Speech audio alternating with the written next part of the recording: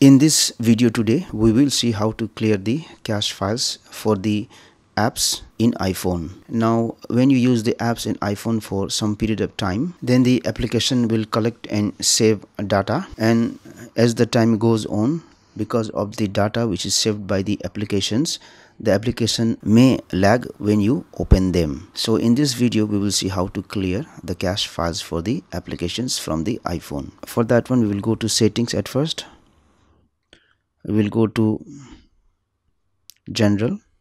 We will go to iphone storage. Just wait for a few seconds.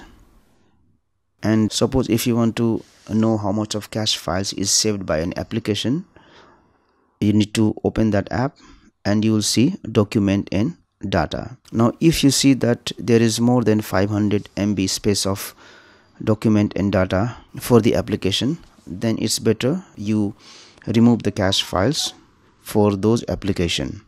Now in iphone the only way to remove the cache files for an app is to delete the application and then reinstall it again. For example if i need to remove this cache files i will select delete app and then delete app.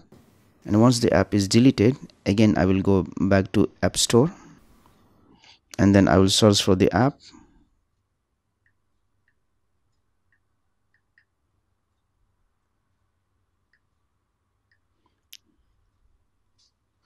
and then I have to reinstall it again. So once the app is reinstalled I will again go back to settings. I will go back to general. I will go back to iPhone storage.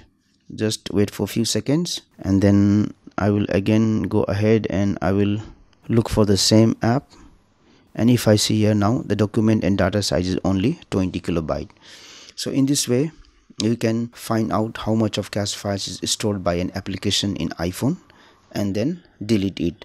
Now let me tell you that if you don't know the password of your facebook account and if you had saved it previously so that you don't need to put the password then it is better not to delete the application. Similarly if you have whatsapp account then it's better not to delete not to uninstall the whatsapp application unless you back up the application. Thank you for watching this video.